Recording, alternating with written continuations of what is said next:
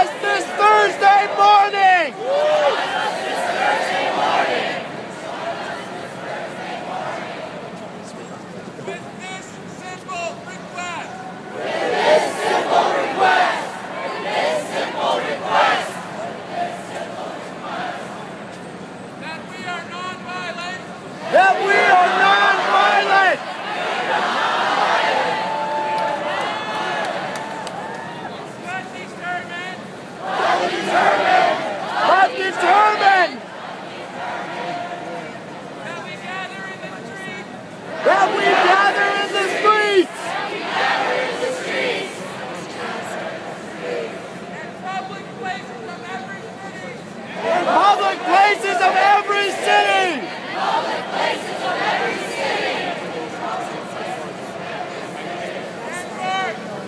One more.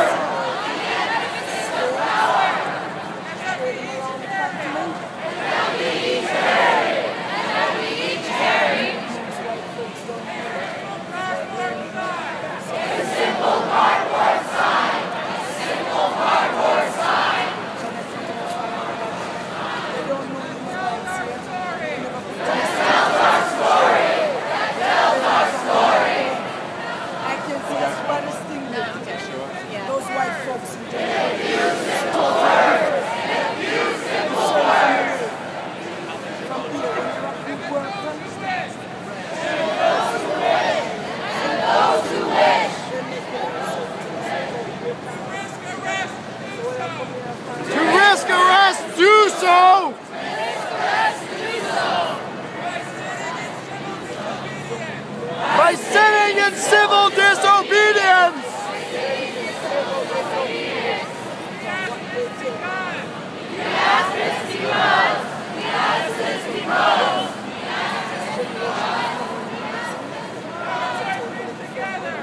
Our voices together!